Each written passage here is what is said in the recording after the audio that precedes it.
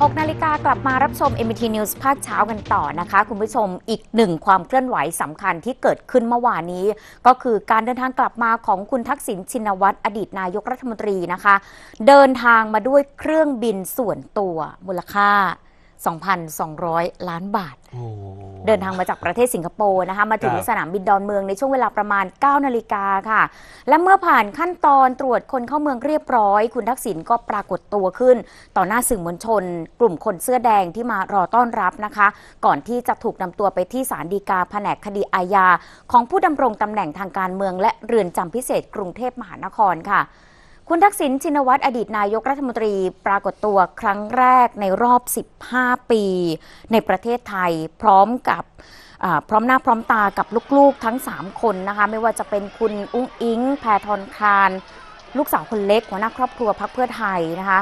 มีคุณโอ๊คชายคนโต มีคุณเอม พินทองทา แล้วก็มีหลานๆท่ามกลางเสียงยินดีจากคนเสื้อแดงที่มารอรับอยู่ด้านนอกอาคารค่ะ คุณทักษิณเข้าถวายราชสักการะ หน้าพระบรมฉายาลักษณ์ พระบาทสมเด็จพระเจ้าอยู่หัว และสมเด็จพระนางเจ้าพระบรมราชินีนะคะ จากนั้นค่ะก็โบกมือทักทาย สื่อมวลชน ทักทายมวลชนคนเสื้อแดงจากหลายจังหวัดที่มารอรับอยู่ด้านนอก แล้วก็เดินไปทักทายกับแกนนำพักเพื่อไทยค่ะเมื่อวานนี้ไปหลายท่านเลยนะคะ อย่างคุณอ้วนภูมิธรรมเวชยชัย คุณสุริยะจึงรุ่งเรืองกิจ คุณสมศักดิ์เทพสุทิน คุณประเสริฐจันทรารวงทอง และสมาชิกพักเพื่อไทยอีกหลายคนแล้วก็มีอีกหนึ่งคนที่ไปร่วมให้การต้อนรับด้วยนี่ยค่ะบรรยากาศของการเข้าไปทักทายบรรดาแกนนำนะคะจะเห็นว่ามาหมดเลย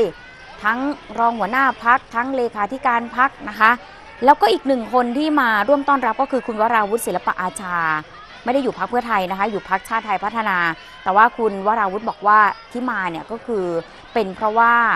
คุณทักษิณกับครอบครัวศิลปะอาชาเนี่ยรู้จักกันมานานมากแล้วนะคะครับหลังรับคุณทักษิณแล้วบรรดาแกนนำพักเพื่อไทยก็ให้สัมภาษณ์กับสื่อมวลชน บอกว่า